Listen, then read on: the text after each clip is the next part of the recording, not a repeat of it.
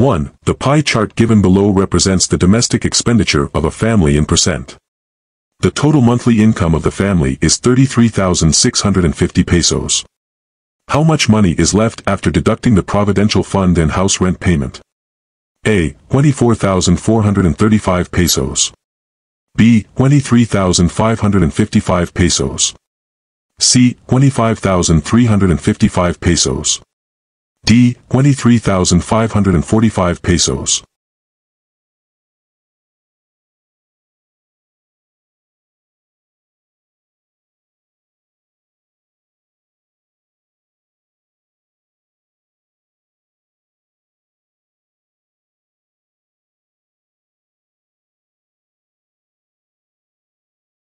To determine the amount of money left after deducting the Provident Fund and house rent payment from the family's total monthly income of 33,650 Cuban pesos, we first need to calculate the amounts for both expenses. Given that the total monthly income is equal to 33,650 Cuban pesos.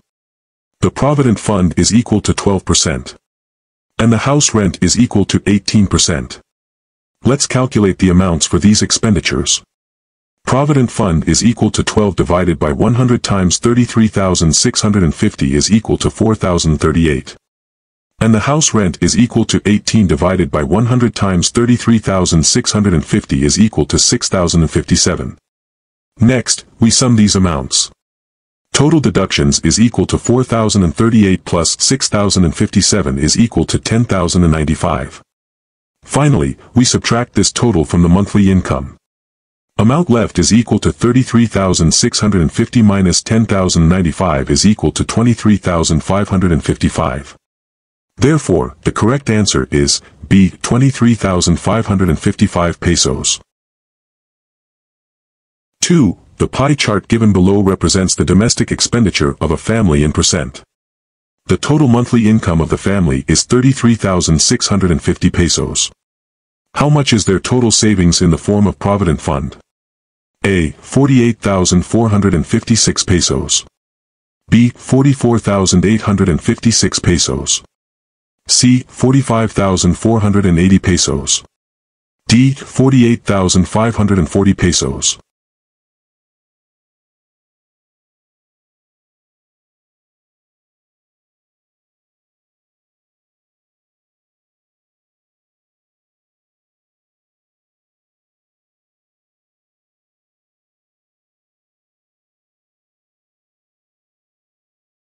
To find the total savings in the form of the Provident Fund for a family with a monthly income of 33,650 Cuban pesos, we can use the percentage given for the Provident Fund. Given that total monthly income is equal to 33,650 pesos and Provident Fund is equal to 12%. Let's calculate the annual Provident Fund savings.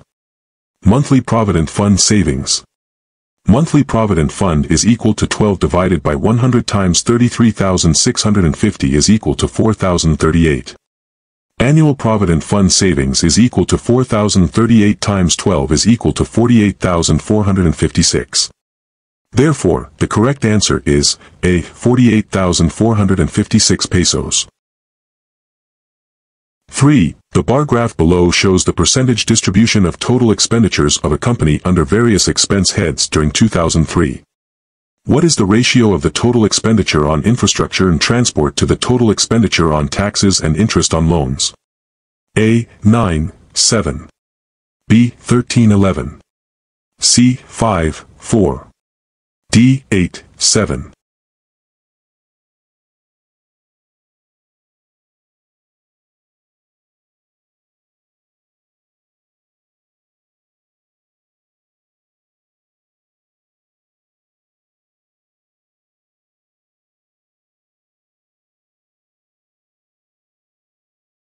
To find the ratio of the total expenditure on infrastructure and transport to the total expenditure on taxes and interest on loans, we can follow these steps. First, determine the percentages of the expenditures for each category from the bar graph. Second, calculate the sum of the percentages for infrastructure and transport. Third, calculate the sum of the percentages for taxes and interest on loans. Fourth, compute the ratio of these two sums. From the bar graph. Infrastructure is 20%. Transport is 12.5%. Taxes is 10%. Interest on loans is 17.5%. The sum of expenditures on infrastructure and transport is 20 plus 12.5 which is equal to 32.5. The sum of expenditures on taxes and interest on loans is 10 plus 17.5 which is equal to 27.5. Now, the ratio of the total expenditure on infrastructure and transport to the total expenditure on taxes and interest on loans is 32.5 over 27.5. Let's simplify this ratio by multiplying the numerator and denominator by 10. Now it is equal to 325 over 275. Both are divisible by 25. Therefore it is now equal to 13 over 11. The correct answer is B. 1311. 4. The city government of Minas Tirith has approved its budget of 250 million pesos for the fiscal year 2019. The pie chart below summarizes the allocation for eight major areas of concern in the city. Based on the chart, how much is allocated for the area with the greatest percentage? A. 50,250,000 pesos. B. 63,750,000 pesos. C. 72,500,000 pesos. D. 24,900,000 pesos.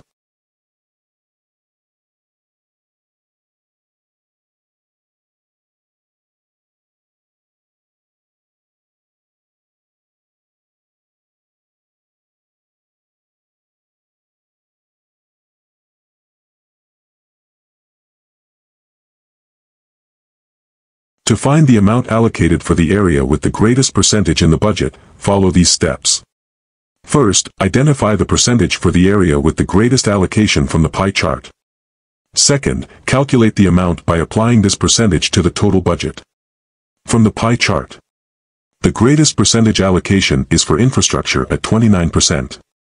Amount allocated is equal to 0.29 times 250 million is equal to 72,500,000. Therefore, the amount allocated for the area with the greatest percentage is 72,500,000 pesos. 5. The following line graph gives the percentage of the number of candidates who qualified an examination out of the total number of candidates who appeared for the examination over a period of seven years from 1994 to 2000. If the total number of candidates appeared in 1996 and 1997 together was 47,400, then the total number of candidates qualified in these two years together was?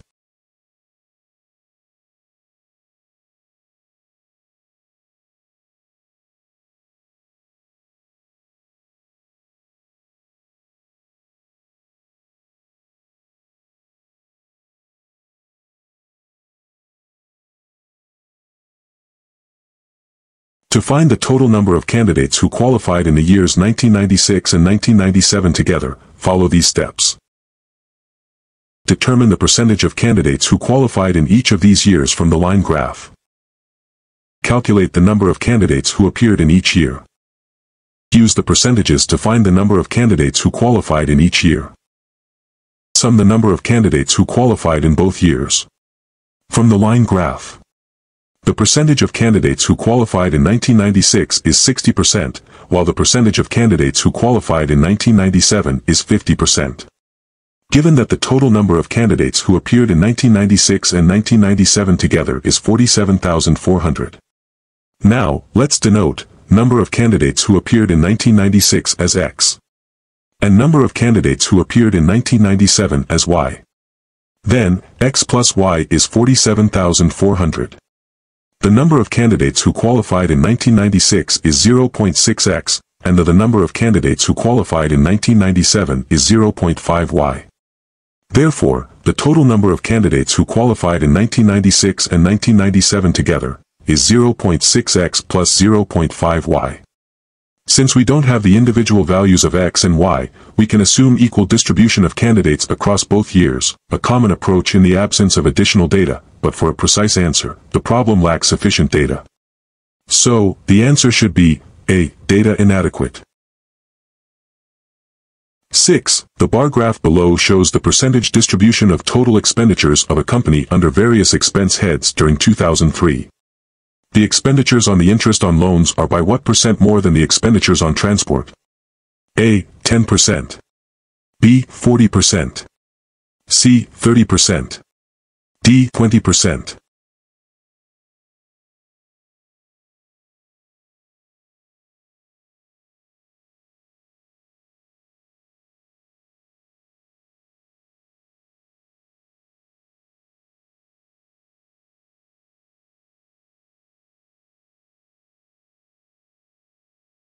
To determine by what percent the expenditures on interest on loans are more than the expenditures on transport, we can use the following formula. Percentage increase is equal to expenditure on interest on loans minus expenditure on transport all over expenditure on transport times 100. From the bar graph, the expenditure on interest on loans is 17.5%, while the expenditure on transport is 12.5%. Now, substituting the values. Percentage increase is equal to 17.5 minus 12.5 all over 12.5 times 100 is equal to 40%. Therefore, the expenditures on interest on loans are 40% more than the expenditures on transport. The correct answer is B, 40%.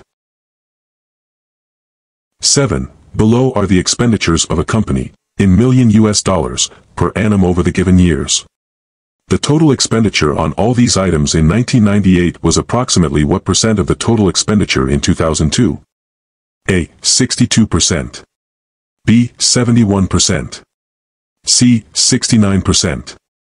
D. 66%.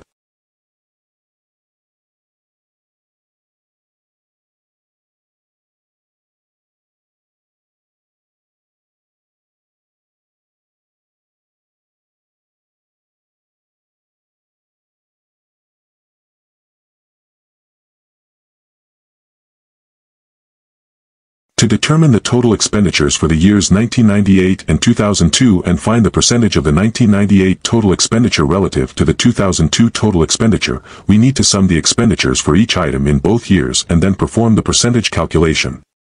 The total expenditures in 1998 are salary, 288, fuel and transport, 98, bonus, 3.00, interest on loans, 23.4, and taxes, 83 which is equal to 495.4.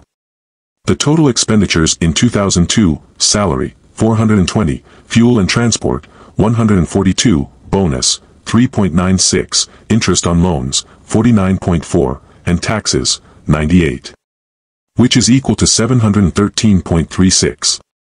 The percentage calculation is equal to the total expenditure in 1998 divided by the total expenditures in 2002 times 100 is 495.4 divided by 713.36 times 100 is equal to 69.46%. The total expenditure in 1998 is approximately 69% of the total expenditure in 2002. Thus, the correct answer is C. 69%. 8. Below are the expenditures of a company, in million US dollars, per annum over the given years.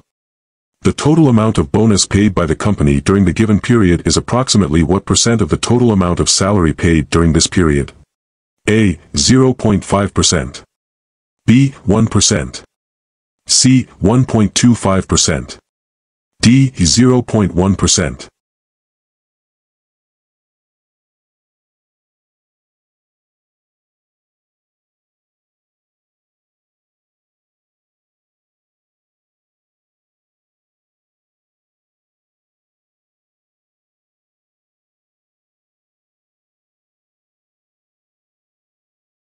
To find the percentage of the total bonus paid by the company compared to the total salary paid during the given period, we need to sum up the bonus and salary amounts for each year from 1998 to 2002.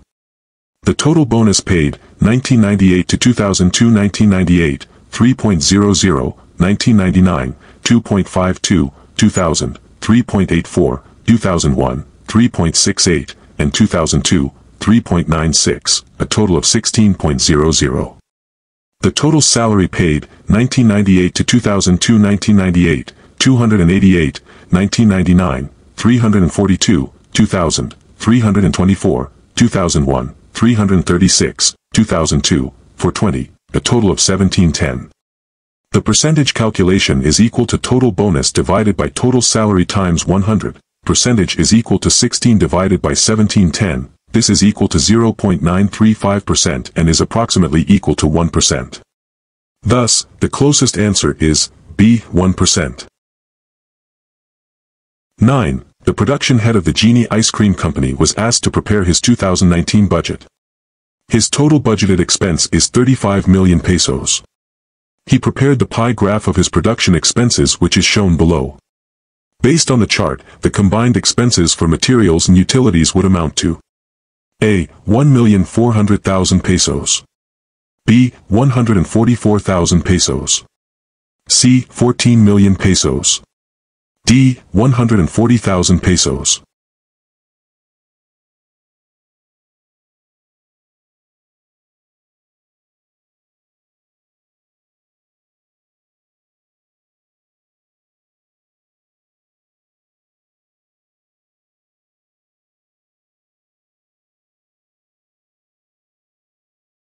find the combined expenses for materials and utilities, we need to determine the percentage of the budget allocated to each and then sum these amounts. The percentages from the pie chart, materials, 15% and utilities, 25%. Combining percentage for materials and utilities, 15% plus 25% is equal to 40%. The total budgeted expense is equal to 35 million pesos. Combining the expenses for materials and utilities, 0.40 times 35 million pesos is equal to 14 million pesos.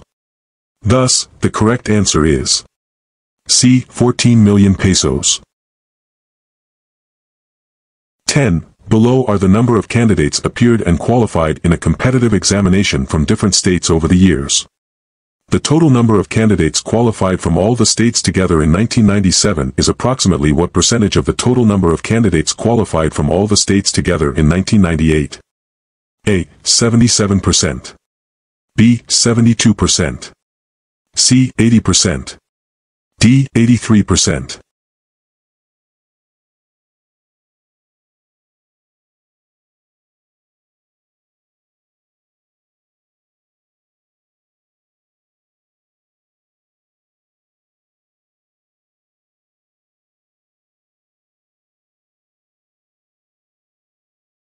To find the percentage of the total number of candidates who qualified from all the states together in 1997 relative to the total number of candidates who qualified in 1998, we use the following formula. Percentage is equal to total qualified in 1997 divided by total qualified in 1998 times 100. The total number of candidates qualified in 1997 is 4160.